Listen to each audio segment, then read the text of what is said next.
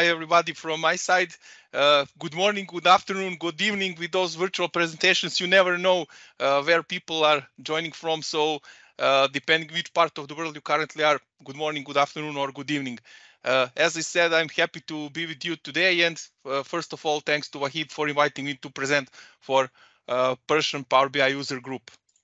So before we start, I will just briefly introduce myself.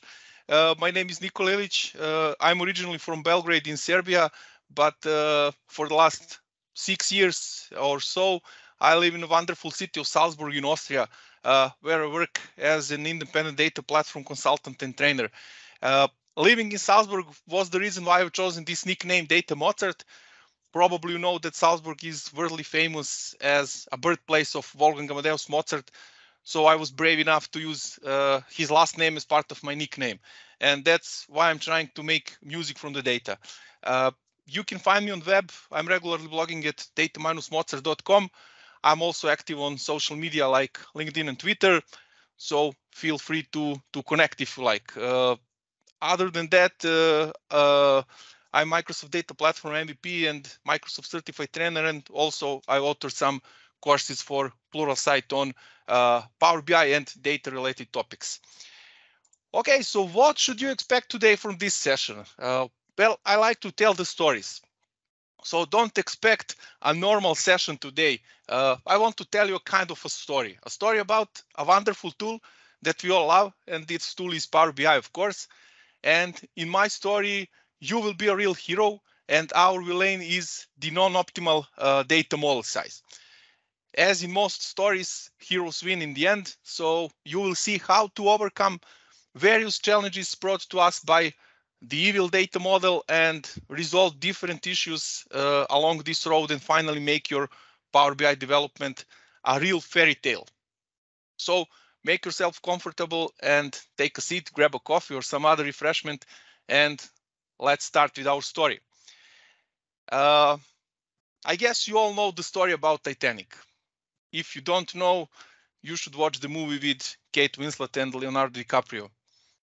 I mean, we all watch it, so yeah, uh, uh, we all know the story about Titanic. But in short, Titanic uh, was the most powerful, most beautiful, most everything ship of all the time.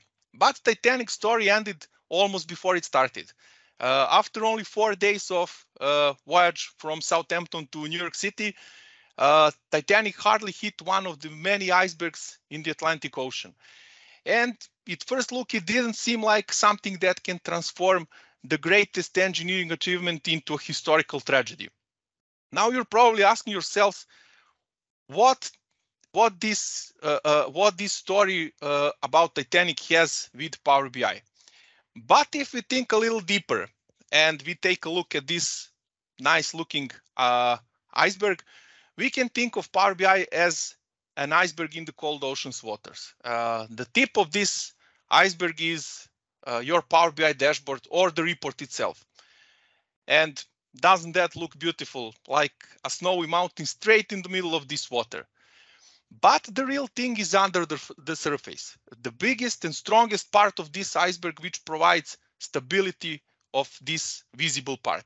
And this part underneath consists of multiple individual but cohesive parts which enable above the surface part to stand strong and shine. As I said, there are multiple individual portions down there. And if you think for a moment here as a Power BI developer, you will see different concepts, architectures and techniques that make your Power BI uh, dashboard or report to shine. If you don't understand and apply those concepts on the right, such as data profiling, data modeling, and data shaping in a proper way, your Power BI report will experience probably experience the same fate as Titanic. Uh, the same applies if you don't dedicate deserved attention to architectures and techniques on the left. Always keep in mind that all these, but also many more core concepts are uh, exactly what enable your Power BI dashboard to perform in the most optimal way.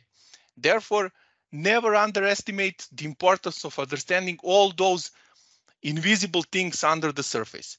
Uh, today, we will focus on learning and understanding the VertiPaq engine and the way it stores the data. but you should also spend your time learning other key concepts uh, that I mentioned here. In the end, you can create Power BI reports that work without knowing, of course, those underlying concepts at all. But there is a huge difference between Power BI reports that just work and Power BI reports that work efficiently. Okay, so now in order to follow the story or uh, watch the movie, you need to have some skills in advance. For example, you can't read book in Chinese if you don't know Chinese. So we are talking about prerequisites. And in regard to this session prerequisites, I need to stress a few things. So this is, I would say, somewhere between 200 and 300 level session, uh, which means that uh, I will assume assume that you have some, let's say, basic to intermediate knowledge and experience with Power BI and data modeling in general. That means I expect that you have at least basic understanding about relational databases, their structure in terms of how data is being stored in the database, and to be able to, uh, of course, make a distinction between rows and columns. And of course, uh, understanding of Power BI and uh, is also necessary to follow along because I will often refer to some things that are related to Power BI development that I assume you are familiar with. So, as we agreed that I'm telling you a story, I mean, we didn't agree, but I hope you're fine with that. Uh, uh, I've intentionally avoided calling this part agenda. Instead, let's think of it as contents of the book. So what's in for you today? Uh, first, we will learn what is a VertiPaq, uh, how it stores the data, what kind of algorithms VertiPaq applies to compress the data, and how we can help as Power BI developers VertiPaq to build an optimal data model for us.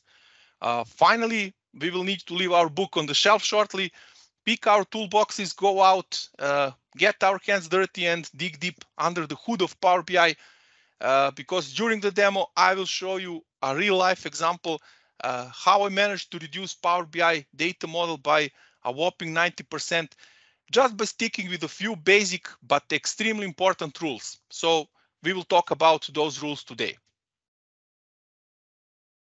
Okay, so here we are. Uh, once upon a time in a far, far away land.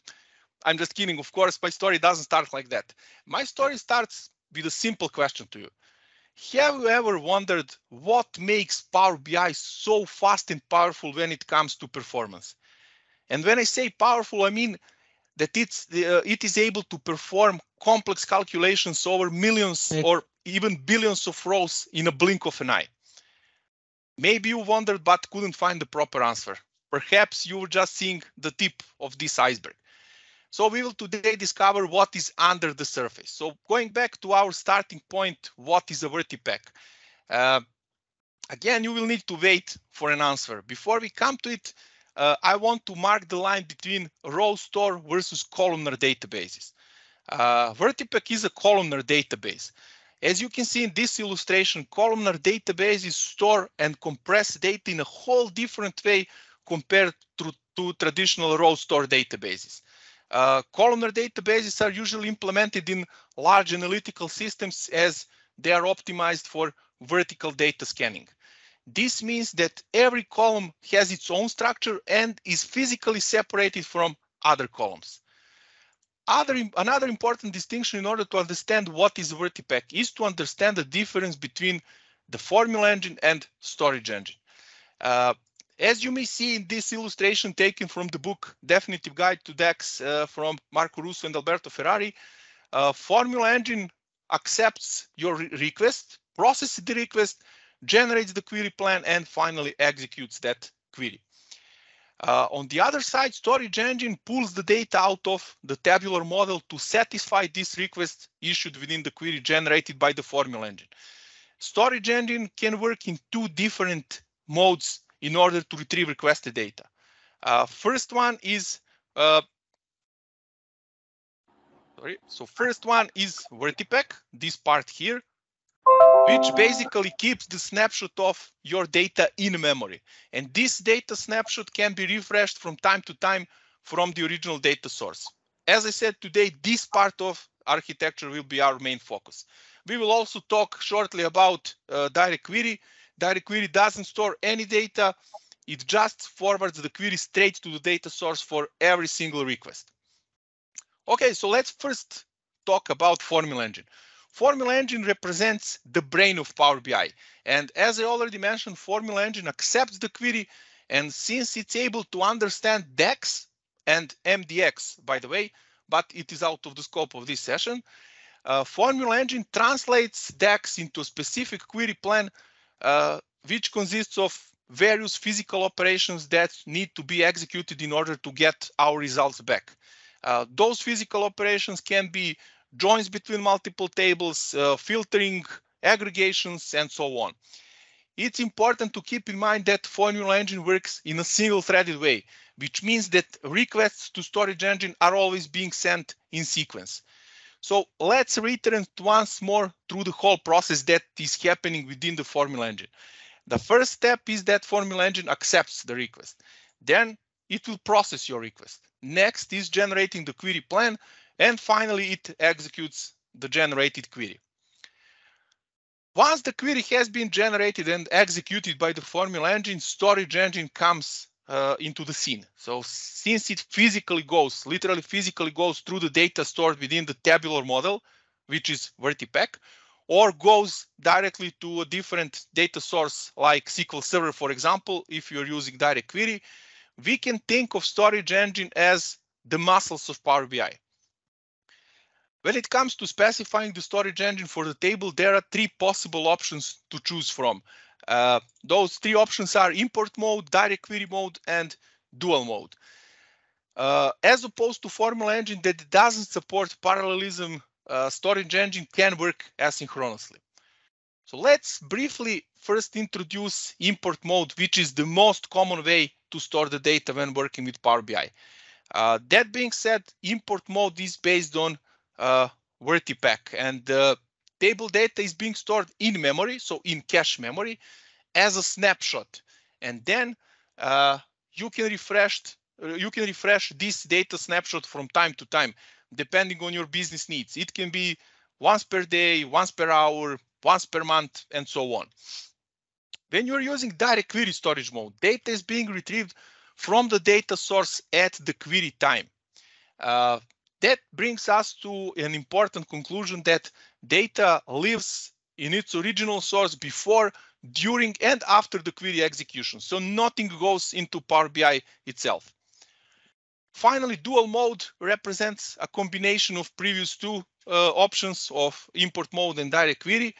That means that data from the table is being loaded into the memory, like we, we are we having uh, uh, the case with import mode. But at the query time, depending on your setup uh, within the data model, it can be also retrieved directly from the data source. Okay, as we have drawn a big picture previously, let me explain in more detail what VertiPaq does in the background to boost the performance of our Power BI reports. Uh, when we choose import mode for our Power BI tables, uh, VertiPaq will perform the following actions. First, it will read the data source and transform all of the data into a columnar structure. Then after that, it will encode uh, and compress the data within each of these columns. Next step is to establish dictionary and index for each of the columns. I'll explain uh, in a few minutes what that means. Uh, after that, it will prepare and establish relationships. And finally, it will compute all calculated columns and calculated tables and compress them. This one is important. How VertiPaq stores the data. Uh, as you may recall from the previous part of our talk, uh, two main characteristics of VertiPaq are that uh, is a columnar database and VertiPaq is an in-memory database. So VertiPaq is a columnar in-memory database. Uh, applies different types of compression to each of the columns independently, choosing the optimal compression algorithm based on the values in that specific column. Uh, compression within the VertiPaq is being achieved by encoding the values within the column. But before we dive deeper into a detailed overview of various encoding techniques, just keep in mind that this architecture is not exclusively related to Power BI. Uh, in the background is a tabular model, which also uh, uh, uh, works under the hood of analysis services tabular and Excel Power Pivot. So let's examine different encoding types uh, which Vertipaq applies in order to compress our data. Those are uh, there are three of them, or let's say two main and one that is like a subtype. Uh, those those encoding types are value encoding, hash encoding, or dictionary encoding, and run length encoding or uh, RLE abbreviated. Now we will go into more details regarding each of these encoding types. Uh, value encoding is the most desirable uh, encoding type since it works exclusively with integers. Uh, because of that, it requires less memory than, for example, when you're working with text values. How does this look in reality? Uh, let's say we have a column containing a number of phone calls per day. Uh, and the value in this columns, column goes from 4,000 to 5,000. What the Vertipaq will do here is to find the minimum value in this range, which is 4,000, and set this value as a starting point. Then it will calculate the difference between this value and all the other values in the column, storing this difference as a new value. You may think, okay, in this case, we save three bits per one row, which is nothing, nothing, you know, three bits is nothing. But let's say that this table has 500 million rows and then multiply this with three bits per row. I think you will then start to appreciate the amount of memory saved uh, by using value encoding. Hash encoding is probably the most commonly used uh, compression type by Vertipaq. Uh, by using hash encoding, Vertipaq creates a dictionary of distinct values within one column and afterward replaces real values with index values from that dictionary. Sounds confusing, I admit, but, but yeah, uh, let me show you an example how this looks like. It's much easier to understand. So here, uh, as you may notice, Vertipaq identified distinct values within the subjects column, built a dictionary by assigning indexes to those values, and finally stored index values as pointers to real values. I assume you're aware that uh, integer values require way less memory space than text, so that's the logic behind uh, this type of compression. Uh, in addition, by being able to build a dictionary for literally any data type, Vertipaq is practically data type independent. Uh, and this brings us to another key takeaway.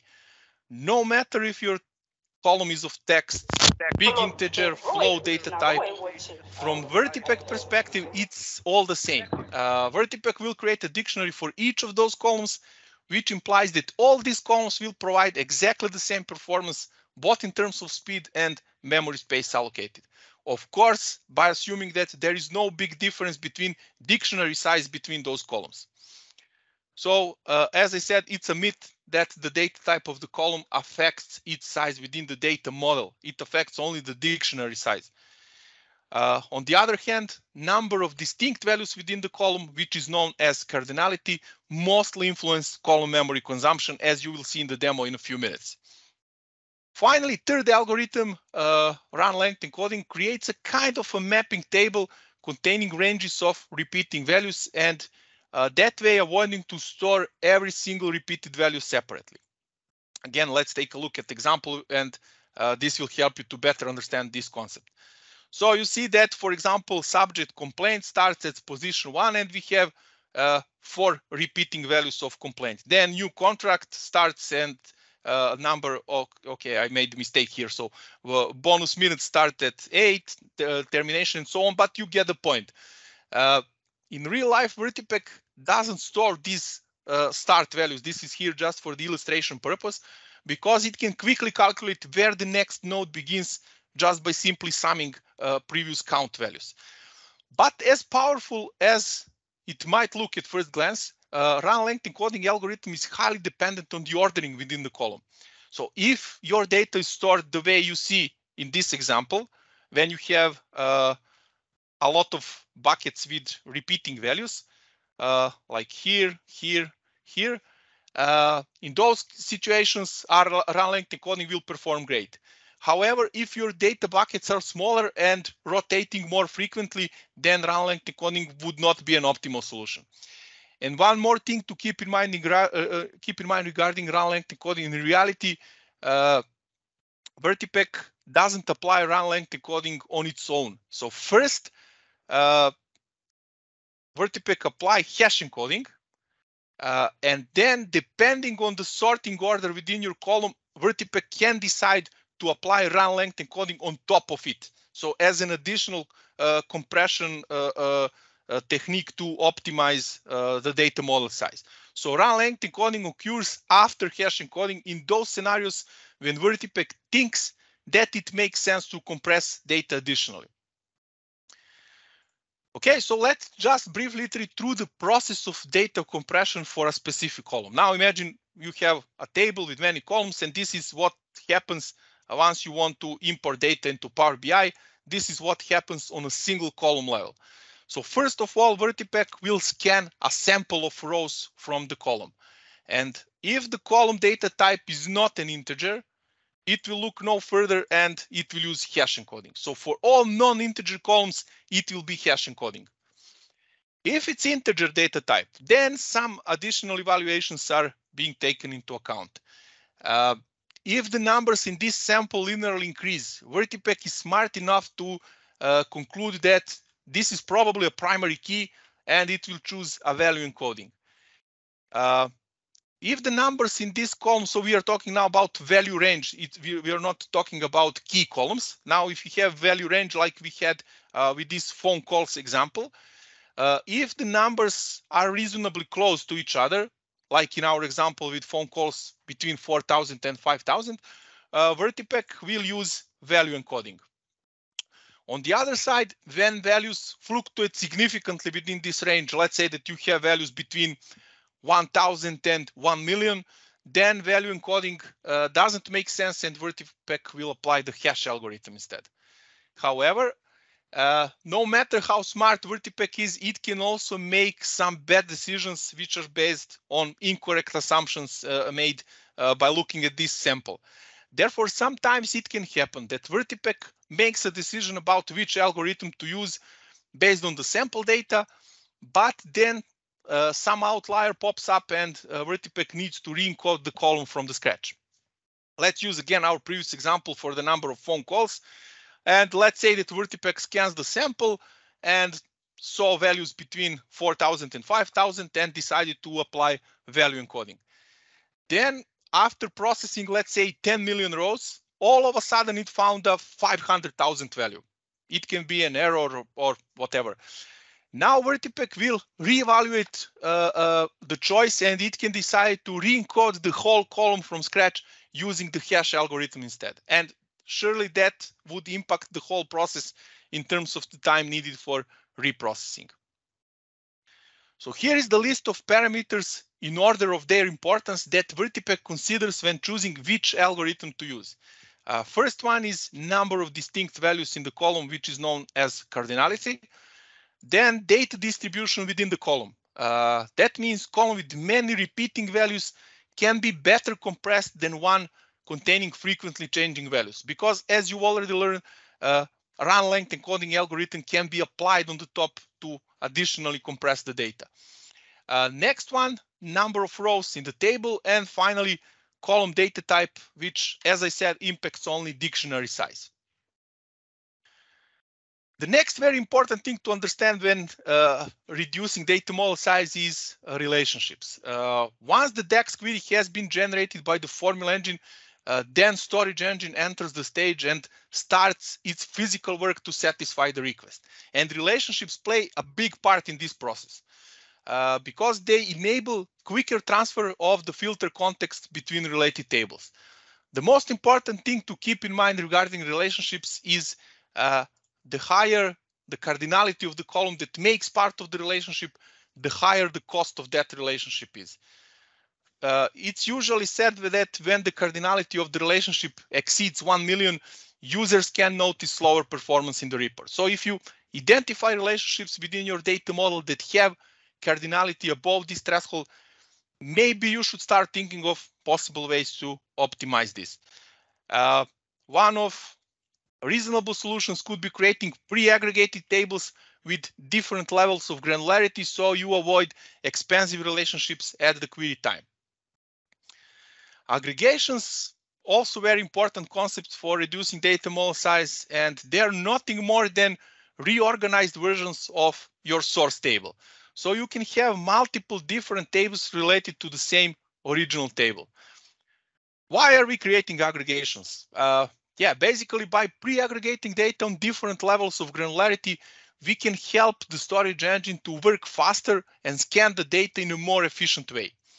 Uh, by applying different aggregations, in the end, we are reducing the amount of data, basically reducing the amount of uh, the number of rows and columns.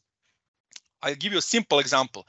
Uh, my raw table contains 7,346 records for uh, chats between 9th of July 2017 and 10th of July. Now, if I pre-aggregate uh, data and count number of chats per specific subject, my aggregated table will have only 45 rows.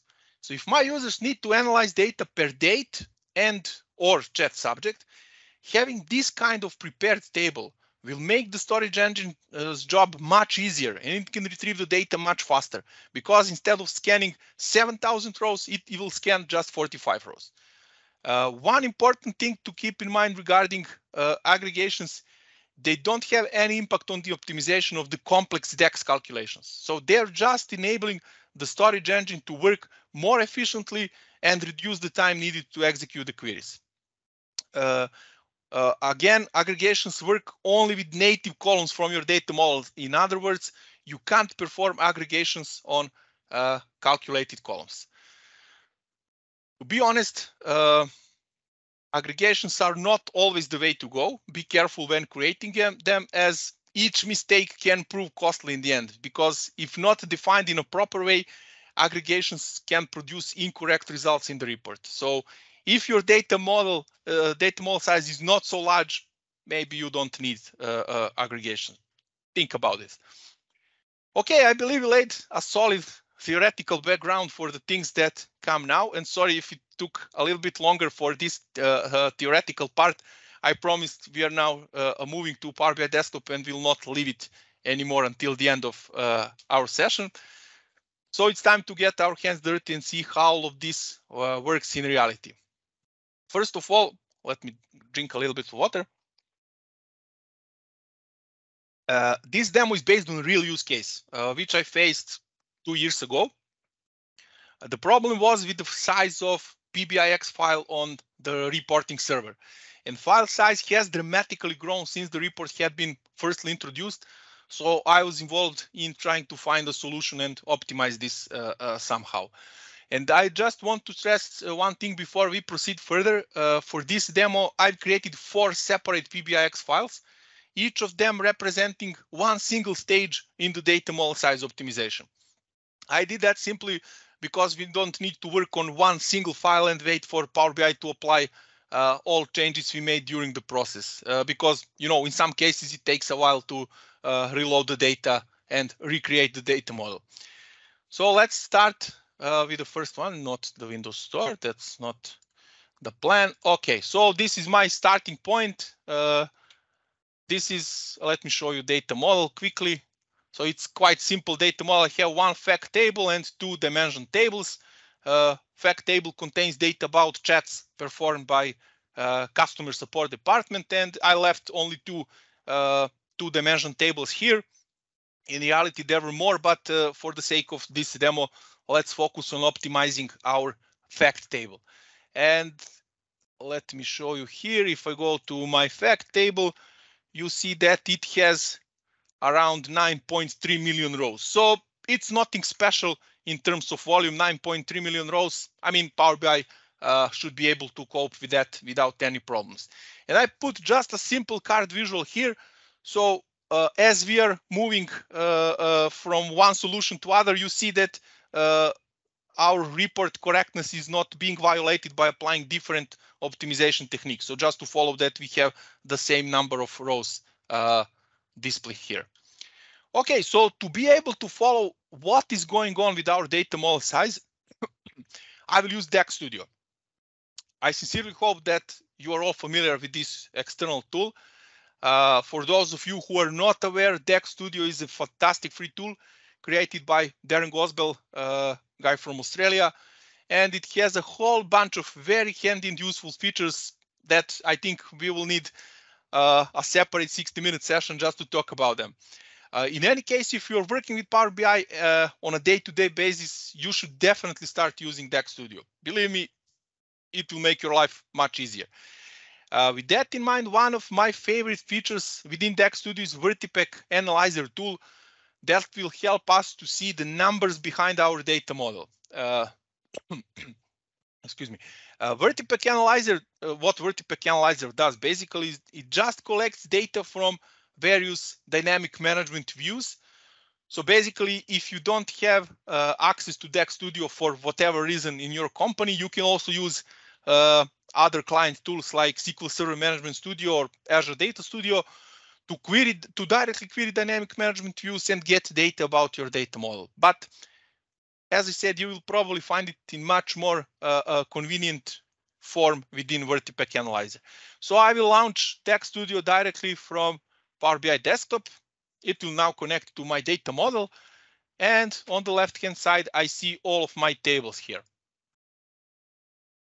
Okay, so now let's go to uh, on the top to advanced tab and under advanced tab there is this view metrics uh, button which I will click and this will launch VertiPaq Analyzer statistics. Let me show you quickly what do we have here. So we have all of our tables. We have uh, this cardinality column means a number of distinct values in the column, but on a table level, that means the number of rows in the table. You see that this number matches with the one I shown you in Power BI desktop previously. We have table size, uh, data size, dictionary size, and so on. Uh, all those numbers are in bytes, uh, which means that, for example, our fact chat table is almost two, two gigabytes large. You can also see uh, in terms of in percentage how much space each of the table consume in our uh, data model. But if I click on this small arrow next to a table name, I'll be able to see all those numbers broken down on a column level. And I can immediately spot that most expensive columns in our case are date TM start, date TM start, UTC, source ID, and so on and so on. So those first three columns, let's say four columns, take approximately 1.5 gigabytes. You can see the whole data model size if you click on summary. And please remember this number, 1.86 gigabytes. That's the total size of our data model. So I want you to remember this number, 1.86 gigabytes. And that really hurts and we haven't even interacted with the report. So let's see what we can do to optimize uh, our data model. As I said, if we go to tables, uh, I can see that uh, which are the most expensive columns in my table. Date team start, date TM start, UTC, source ID, session referer, and so on. So let's go and first of all, this source ID column. Let me explain what this column means uh, uh, in terms from business perspective, so you get a better understanding why we are doing some steps that we, we are going to do soon. Uh, date TM start uh, is the time uh, when the chat started in local time zone. And uh, this data is being imported as, as it is. So with date time data type, go, meaning going to a second or let's say millisecond level of precision, but second level of precision.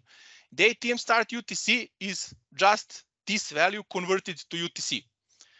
Then we have source ID, which is the unique key from the source system, and so on and so on. So let's go and remove for the beginning. Let's remove just this source ID column because I already have uh, here I have chat ID column, which is uh, the, the surrogate key from data warehouse. So basically that's primary key uh, of uh, this table. So I'll go back to my Power BI desktop and let's go to Power Query Editor. Fact chat and I'll remove uh, source ID column. Source ID, source ID, here it is. So I'll just remove this column and hit close and apply. Let's wait for a few moments for Power BI to apply those changes. It was fast. Now let's go back to DAX Studio and refresh this view. Go to summary. So it's not 1.54 megabytes. So by removing just one, just one unnecessary column, we saved more than 300 megabytes. So let's examine further what can be removed without taking a deeper look. And we will come later into a deeper look, I promise. As I said, do we need, do we really need both the original start time and UTC time? Both stored as date time. So both going to second level of precision. So let me get rid of the original start time column and keep only UTC values. In any case, it's easy to uh, to do some uh, calculations and uh, move from UTC to another time zone directly in Power BI. Uh, also, session referer and referer columns. Let me show you. Those are just a bunch of uh, some JSON strings imported as it is in Power BI. So let me show you. And here you see what I was talking about. We have date and we have time portion here. For session referer and referer, uh, let me find it. Mm, user time zone, wait time, wait time, let's take Probably I can't find it here. Never mind. So let's go back to Power Query Editor. And let's get rid of those columns that we don't need. So I will go to my fact chat. I will remove uh, date tm start. Then I will remove, uh, here is the referer and session referer. Then what else do we need? Do, we don't need is, for example, uh, last edit date, which is basically the date when the record was last time updated in uh, our data warehouse. And finally, chat variables, also uh, a bunch of uh, uh, JSON records imported as it is from the original data source. So I'll remove those columns and then again hit close and apply and let's wait for Power BI to apply those changes. That was fast. Again, refresh view metrics.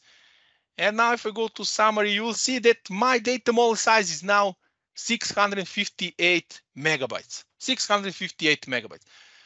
So we basically shrank two thirds the size of our data model just by removing few unnecessary columns. So we didn't do anything really in terms of optimizing columns itself. We just remove unnecessary columns. And uh, the first takeaway from this session, check which columns are unnecessary and unused in your reports. And that should always be your starting point when you are troubleshooting uh, data model size optimization. Why? Uh, let me show you example. I want to show you an example. It's it's more co convincing. Let's imagine that you are preparing a delicious dinner for your friends. Uh, you invited them for a tasty pizza, but before you make this dish, you have to prepare the ingredients. So what goes into a regular pizza? Uh, let's say pizza bread, of course, tomato sauce, ham, cheese, Maybe you need some extra ingredients for some of your guests, such as, I don't know, pineapple, corn, egg, olives, because you are a good host and you want to satisfy all your guests' needs. So what is the next step? Uh, you're going to local shop to buy all you need for your perfect pizza. But while you are walking through the shelves in the shop, you see a beer. Do you need a beer for pizza? I mean, it's always nice to have a beer, but do you need it to make your pizza? A few steps more and you spot a chocolate ice cream. Mm, I like chocolate ice cream. I really do. But again, do I need it for my pizza? I mean, that would be really weird pizza with chocolate ice cream on it. So what is the moral of this pizza story? You should focus on those and only those things you really need. Translate it to your Power BI development. You should focus only on data that your report users really need okay, you can put something extra, such as pineapples uh, uh, or something like this in some circumstances when you think that it would bring additional business value to your report or dashboard. But carefully evaluate if that brings more benefit in the final outcome. Uh, would you buy a whole pineapple and put it all over your big pizza if you have only one guest that eats uh, pizza with pineapple and let's say five others that don't like this taste? Or should you maybe prepare smaller pizza for this one guest that likes pineapple without disrupting the main pizza? I believe that it's always useful to keep in mind this uh, uh, pizza analogy when you are considering which data to put uh, in your data model. Okay, going back to DAX Studio and uh, here true to be said, uh, there are a few more columns that could be dismissed from data model, but let's now focus on other techniques for data model optimization.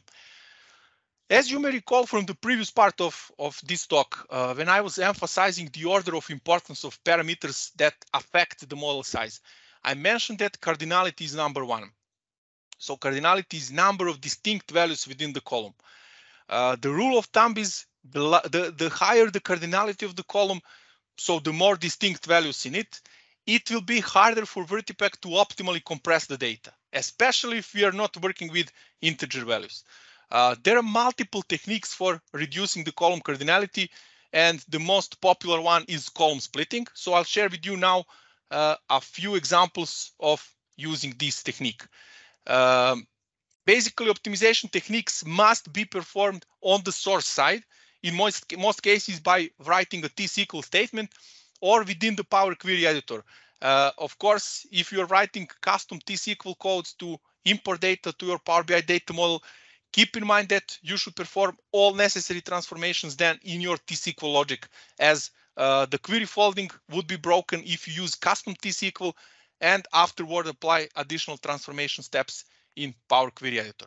So let me show you how you can use different cardinality reduction techniques to uh, split the columns. So in this case, instead of having one column with 10 distinct values, I created two columns using uh, division and modulo operations. Uh, two columns, this one has cardinality of one, and this one again has cardinality of 10, but uh, we saved some uh, bits per one single row. Example from the beginning of uh, the session. Then if you have decimal values, for example, what you can do is you can split uh, your column to contain values before and after the decimal point. In this case, instead of having a, a, highly high cardinal column, you have two columns with uh, lower cardinality. And finally, this one is probably the most uh, often used uh, uh, uh, technique. If you have a date time column and you need to keep both date and time portion for reporting purposes, uh, you can split date portion in one column and time portion in another column. This way, here instead of having 10 distinct values, I have just, I don't know, one, two, three. And here, uh, yeah, the maximum cardinality of this column would be uh, the number of seconds within 24 hours, which is 86,000 uh, and something. So basically this way, uh, for extremely large models, you can achieve uh, uh, significant memory memory savings. So those, those were techniques for optimizing uh, for uh, reducing cardinality. Of course, keep in mind that these techniques would require additional effort in the report, uh, report itself because you will need to rewrite your measures to return correct results. So be careful when to use them. Uh, we will examine this in the closing part of the session. I just want you to be aware that these techniques exist and can bring significant benefits in specific scenarios. Uh, so since we don't have any decimal values in our example, let's focus on our exact problem here. Let me show you. And this is date TM start column, uh, date TM start UTC column, which has cardinality of almost 9 million and it consumes almost half of gigabytes, so 454 megabytes. Okay, so in 95% of cases, day level uh, of granularity is completely fine for all analytic reports. So your users usually will need to analyze data on a day level. Uh, so what I did here, and I made a mistake, I will tell you why. So I'll, uh, not this one, uh, this one. Okay, so what I did here, let me show you. So I just changed the type of my date TM star UTC column. So I just changed the type from date time to date. So you see there is no time portion anymore. And uh, let me just turn off this. Uh, and uh, so now we have only dates. Fine. Hit close and apply. And let me open a new uh, Studio instance to show you what's what's happening now. Okay, go to advanced view metrics. And now you see if I go to summary, it's just 212 megabytes, 212 megabytes. So approximately 15% from what we started from. And uh, Analyzer, if we go to check this column, date TM start UTC, it's here. So you see that instead of 454 megabytes, it just takes nine megabytes now. And we have, instead of nine, almost 9 million distinct values, we have just slightly more than 1000. And that's huge. However, the, the mistake I made is that I didn't ask my users if they're fine enough to have data on a daily level. It appeared that day level grain was not fine, and my users needed to analyze figures on hour level. So they can decide how many agents to assign for uh, morning shifts, uh, evening shifts, and so on. So I thought at least we can get rid of minutes and seconds, and that would also decrease uh, the cardinality of this column. So what I did, I imported values around it per hour. Let me show you. Uh, here, I will go to uh, transform data. And in this case, I wrote a T-SQL query that basically, let me show you, maybe it's easier to, to understand here. So what I did here, I create, uh, I rounded chat time to a starting hour. That was the request from my users. So what happened here?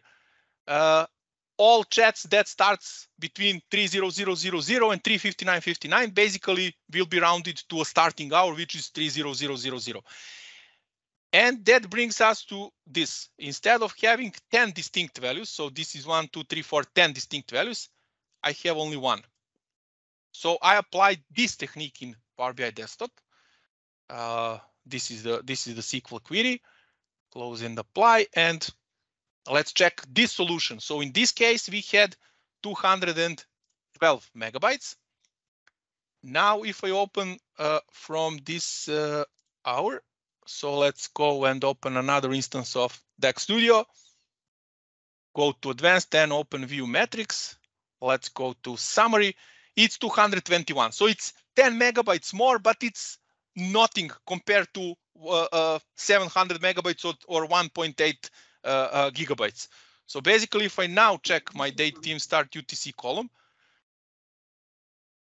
here it is. Okay, so now instead of uh, having uh, nine megabytes, it's 19 megabytes, and we have 32,000 distinct values instead of uh, uh 1,000. But it's still way better than having 9 million distinct values and having a column size of 450 megabytes. It's still it's still good, and basically we satisfy the business request and we significantly reduce uh, the data size column. However, one thing still bothered me here. Uh, this chat ID column here uh, that takes around one one third of my table of the whole table, and this is just a surrogate key. Uh, this column, of course, has a cardinality that matches the number of rows of the table, uh, however, this column is not used in any of the relationships within my data model, not in the calculations anywhere.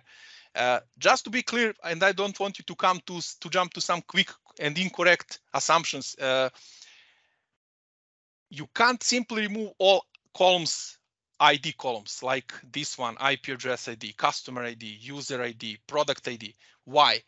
Because those columns are being used uh, uh, as foreign keys to our dimension tables, and therefore they're part of the relationships in our data model. So if the column is part of the relationship, you can't simply remove it because uh, your report will not, I mean, it will work, but uh, not in, in, not in a proper way. But the chat ID column, as I said, is just a surrogate key, so it doesn't have any business meaning. It's not part of the relationship. It's not being used in calculations. So I asked myself, if there would be any benefit if I uh, keep this chat ID column and all since it's not being used. And uh, finally, I removed uh, chat ID column from the table. This is the solution without chat ID column. Uh, let's again open uh, DAX Studio and see our final result. So I'm going to advanced view metrics, summary, 160 megabytes. that's astonishing. So I didn't lie to you when I said that I managed to reduce my data model size by 90%. And if you compare our starting point, which was 1.86 gigabytes, I think, with the current 160 megabytes, I will let you do the math. And one last step uh, was to disable auto date time options, uh, auto date timing options for data loading. If you're not aware, uh, when you leave auto date time option checked, it will create a hidden date table for every single date field in your data model. So if you have multiple date fields uh, uh, in a table of hundreds of millions or even billions of rows, your data model will, will be bloated with those hidden date tables. What's even worse, uh, these tables will search for the minimum and maximum date value in that column and create a date range between minimum and maximum value. So if it happens that you have something like uh, December 31st, uh, 2099 for the current records, your automatically created date table will span until that date. Uh, of course, working with dates and importance of having a proper date dimension uh, to handle all your time intelligence calculations uh, should be a topic for separate session. But I just wanted to give you a quick heads up why you should consider disabling auto date time for your Power BI desktop files. Uh, and here is another very handy use case of DAX Studio. You can't see these hidden date tables anywhere in Power BI Desktop, but once you connect uh, your data model uh, with DAX Studio, you can see them. So all these tables with these funny names like local date table, blah, blah, blah, blah, blah, blah, local date table with some uh, uh, uh, hexadecimal characters after the, their name. Those are all hidden date tables automatically created by Power BI. So if I go to uh, here and go to options and settings, options, and data load, I will turn off auto date time. Okay, and now if I go back to DAX Studio, you see that those uh, tables disappeared uh, from the left. And if I again click on view metrics and summary, okay, this brought additional four megabytes of savings.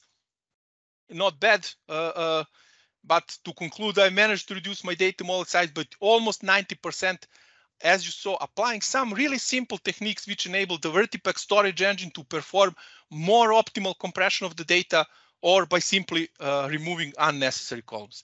And as I said, this was a real use case which I faced uh, two years ago. So you were just like watching like a documentary about my uh, Power BI work. Okay, now some of you may think wait, Nikola, why did you waste our uh, time with this blah, blah, boring talk about VertiPaq encoding types, cardinality? What you have just shown us is basically just removal of unnecessary columns, nothing special. And I have to admit you are not completely, but almost completely right. Uh, but in 95% of cases, when you're performing data model size optimization, simple removal of unnecessary and unused columns will be enough to get your job done, believe me. And as I already mentioned, but it's never uh, enough repeating this, that should be your starting point when you're dealing with data model size optimization. In the remaining 5% of scenarios, you would maybe need to uh, apply some more advanced approaches such as uh, cardinality reduction and using some of uh, techniques I've shown you a few minutes ago. Okay, to slowly conclude, uh, here is the list of general rules you should keep in mind when trying to reduce the data model size. First, again, keep only those columns your users need in the report. Just sticking with this one single rule will save you an unbelievable amount of space, I assure you. Uh, as you've just seen in our demo, sticking with this one rule helped us to make astonishing savings. Always remember the pizza comparison. Next one, uh, try to optimize column cardinality whenever possible. Here, as probably everywhere else, the golden rule is to test, test, and test. And if there is a significant benefit from, for example, splitting one column into two columns or substituting decimal values uh, uh, with the two whole number columns, then do it. But also be ready to uh, uh, to keep in mind that your measures need to be rewritten to handle those structural changes.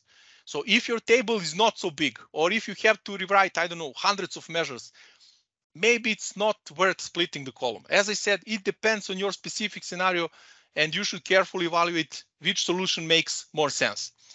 Uh, same as for columns, keep only those rows you need. For example, maybe you don't need to import data from the last 10 years, but only five. That will also reduce your data model size.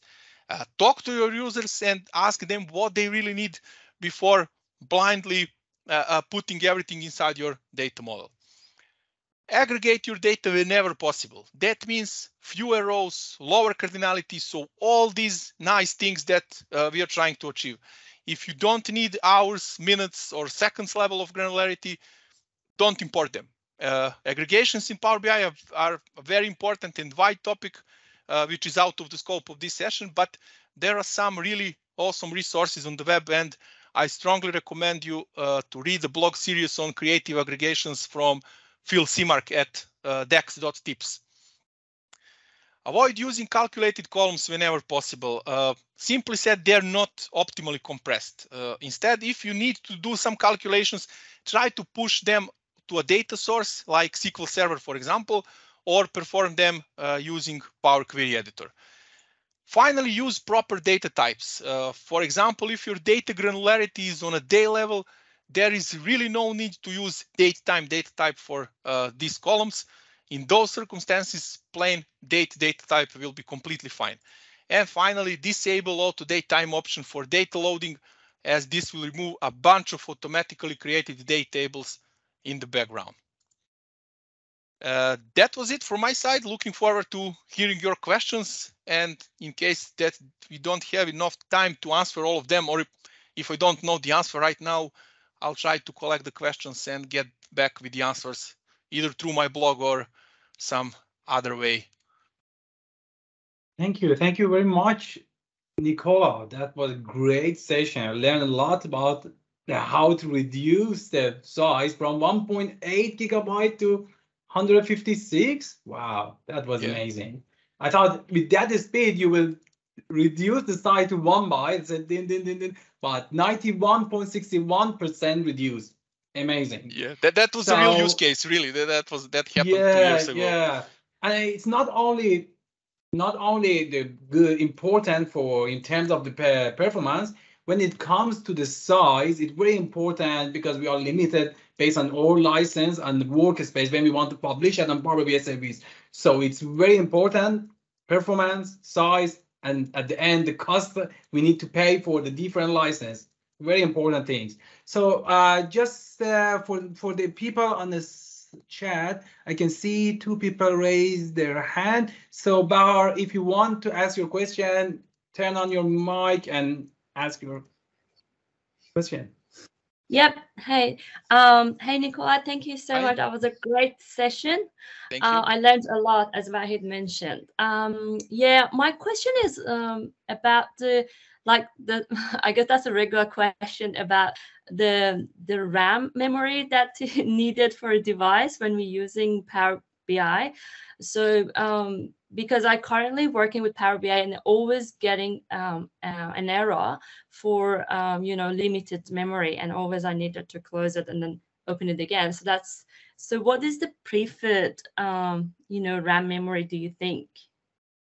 That's hard to answer. There, there, there is no answer like uh, this number is proper. It depends on your workload. But from my experience, I would say anything below 16 gigabytes of RAM locally so if, if you're uh, using a machine uh, with low, uh, less than 16 gigabytes of RAM, you can run into trouble. Doesn't mean that yeah. you will necessarily mm do, but you can. The the more the better. So yeah, yeah I would true. say Mine something is, 16 or yeah. 30, 32 if possible. That's yeah, I would I um I thought so because mine is 16, but still I got lots of that's because I'm I guess um, I'm um, working with the big data.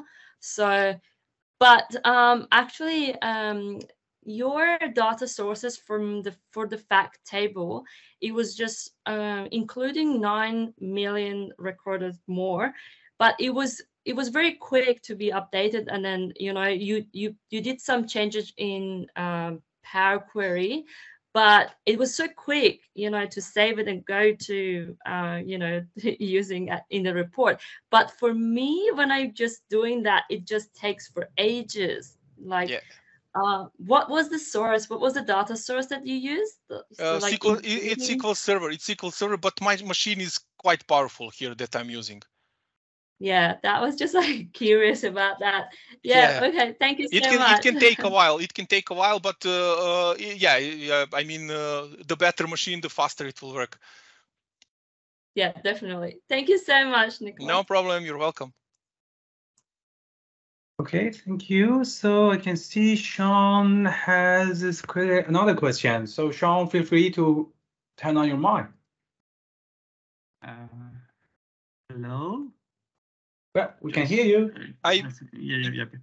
Uh, thank you so much, uh, uh, Nikola, for your great presentation. You're welcome. Uh, I just have a question uh, about uh, when you talked about the hash coding uh, and uh, trans uh, changing the distinct text values into the uh, in indexes. Uh, I, I I don't know if I got it correctly or not. Should we do it in the background in the uh, in the uh, in our database and then uh, when when we want to create a uh, data set or Yeah, uh, Uh, that's a good question. So yeah, I didn't explain this during the session. So this is automatically applied by VertiPaq. So you don't need to do anything. Uh, VertiPaq uh, scans your data and VertiPaq decides what type of algorithm uh, will be applied for a certain column. There is a way to change this, but I don't recommend doing. So you can do this in Tabular Editor. Uh, there, there is a, a thing called query hint where you explicitly uh, instruct VertiPaq that you want to use value encoding, for example, instead of hash encoding. That can be done explicitly, but I don't recommend doing this for multiple reasons. Uh, in other cases, you don't need to do anything. So VertiPaq will apply uh, uh, the algorithm on its own. So it, it will decide which is the, the most proper algorithm for your column. Does that make sense?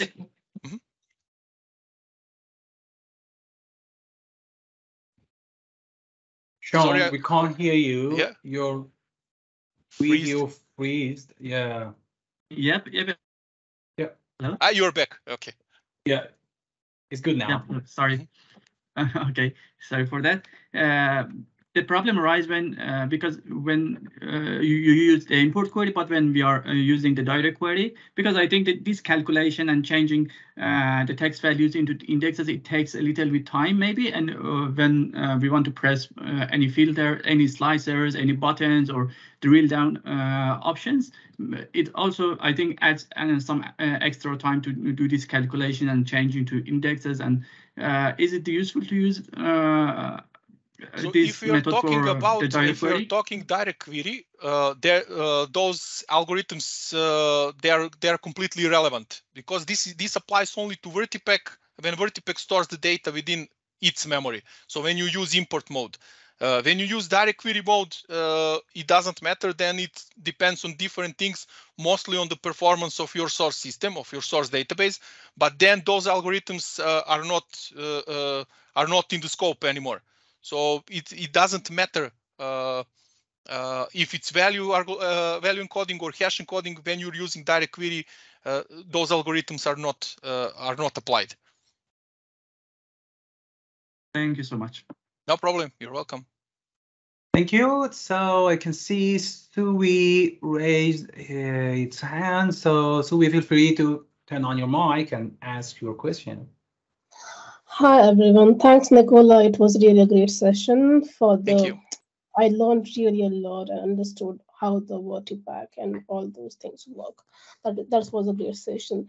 The thing I really want to ask is, I'm currently working on a mod on a PBI file which has various, um, I should say, pages, and has loads of uh, visualizations. So, so, for example, table, and in that table I have various measures such as um, month over variance and all these things. So what my what I'm facing right now is as I'm adding more and more visualization in my Power BI model, it is really getting slower and slower. And uh, when I try to analyze through DAX Studio, I haven't found any of the issues with the my DAX codes because that's what I've uh, I try to do. But uh, but I do have various data data column date columns I should say where and those date columns I need to have in my data model because that is required by the uh, client. Now, if I want to uh, really enhance the performance of my of my particular this particular Power BI file, what can be the other scenarios where I can, uh, which can help me to reduce the size of this particular file and enhance the performance? Yeah. Uh, so if the DAX is not the problem, if you confirm the DAX is not the problem, and yeah. uh, you face problems because you have too many visuals on the report page, yeah. Then you need to reduce the number of visuals. I, I know it sounds uh, simple and trivial, but uh, I know it's not. But what uh, what is the problem when you have too many visuals on the report page? Problem mm -hmm. is that uh, maybe you recall from the beginning of, of our talk today that Formula Engine works in a single threaded way. So let's say mm -hmm. that you have that you have 20 visuals on the page. Mm -hmm. And you have DAX query that populates each of these 20 visuals. Mm -hmm. So mm-hmm. what happens? Let's say that your DAX is optimized, your measures are really simple, nothing complex. So they, yeah. they let's say the DAX executes in 20 milliseconds, for example, for each visual. But what mm -hmm. happens because Formula Engine works in a single threaded way? It can generate one DAX query at a time, which means it will generate DAX query for the first visual, then for the second visual, then for the third visual, and so on. So the 20th visual in this queue will need mm -hmm. to mm-hmm. wait for previous 19 to complete and when you multiply 19 with, I don't know, 20 milliseconds, it's 400 mm -hmm. milliseconds, so it's half a second. I gave you just a trivial example. Maybe it takes more, but uh, the problem is if you have too many visuals, there are too many DAX queries, and the last one in this queue will need to wait for all the others to complete. Formula Engine mm -hmm. cannot work uh, uh, cannot work in parallel, so it can't uh, create 20 DAX queries at a time. It's not possible. So just well, I would like to ask you one question. When I'm talking to my client regarding the their requirements, how should we need to negotiate or trade off between the number of visuals and uh, number of measure uh, I guess you're getting what I'm trying to ask you. Yeah. Because yeah. if the client is asking the certain kind of a dashboard, and then we have to fulfill those requirements, and in the in the process of fulfilling those requirements, we need to get uh, all these thing kind of you know visualization, the the one you were saying. So. Yeah, uh, it's that, a trade-off. I would say it's a trade-off. Yeah, you, you can either create a, uh, another page. So instead of having I don't know one page with 30 visuals, you create three pages with 10 visuals that okay. that that can help. Uh, I mean, it's a trade-off. So between performance and uh, having everything in one place. Yeah, getting your point, Nikola. Thank you very much. I'll no try problem. to figure out. Thanks a lot. It was nice to have, have you. Thank you. Thanks, Thanks. a lot. Thank you. Okay, thank you. Uh, there is one question in the chat box. Uh, say Dev, if I uh -huh, pronounce I your see. name right, -huh. incorrectly, please uh, if there are too many measures, would using calculation groups helps in improving performance? Uh, in terms of performance itself, no. Uh, but in terms of uh, having simpler data model and uh, more readable, uh, it will help definitely. So if you can reuse logic, then use calculation groups, of course. But in terms of performance itself, it's the same. I mean, DAX, DAX will be the same. Okay, thank you. Uh, if there is any other question, please feel free to ask that. Otherwise, we can wrap it up. So thank you. Thank you very much, Nikola. And thank you. Thank you for sharing your knowledge with us. And we learned a lot from you. Thanks. Thanks for inviting me. It was a pleasure to present. Thank you, everyone, yeah, for joining. Thank you. And hope in the future we can have another meeting because you mentioned during this presentation we need to have another session for that date column and date date table. So maybe we can arrange that. Yeah, sure. Why not? Yeah, more than happy to have you again in this Thanks. financial Thank in this Power BI user group. Thank you. Thanks great, a lot. Great. Yeah. Thank you. Thank you, everyone, for uh, spending your time with us. I want to say thanks to the Microsoft team, to the community team, to give us this chance to gather as a community and improve our knowledge. Thank you again, Nikola, and hope to see you soon. Yeah, hope to see you soon. Take care. All the best.